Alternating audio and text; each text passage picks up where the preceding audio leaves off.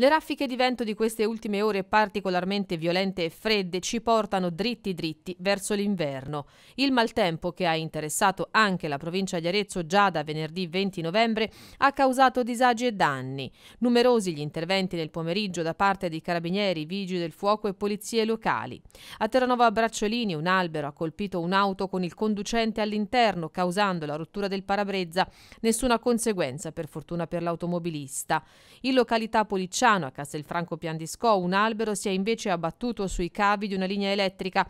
Sul posto la Polizia Municipale ha provveduto a mettere in sicurezza l'area fino alla risoluzione della problematica da parte dei tecnici della compagnia elettrica.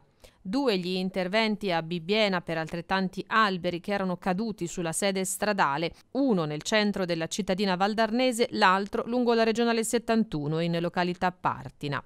Intanto dal sito arezzometeo.com arrivano anche le prime immagini del passo Fangacci innevato. Sarà dunque un fine settimana particolarmente freddo, con temperature minime in ulteriore calo e possibili gelate.